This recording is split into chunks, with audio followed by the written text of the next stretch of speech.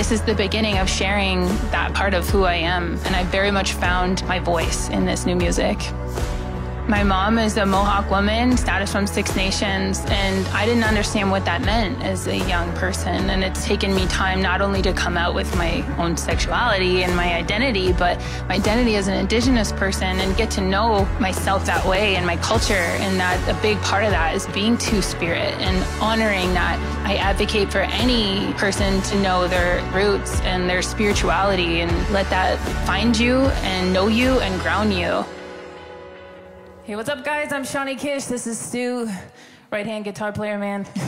We're here at Play the Parks, uh, supported by the Downtown Yonge BIA. We are happy to be downtown.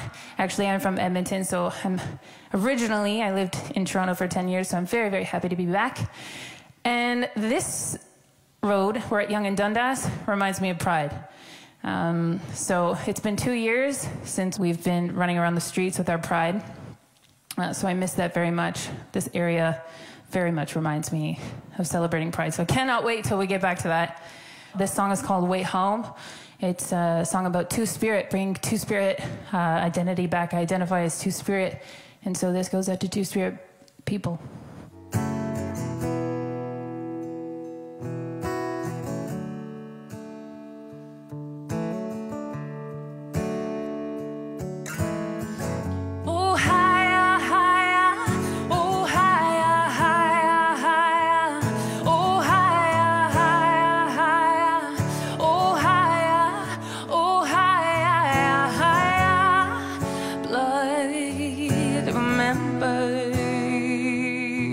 Love knows no limits. The meaning of the spirit. Fight. Don't fail me now. Free.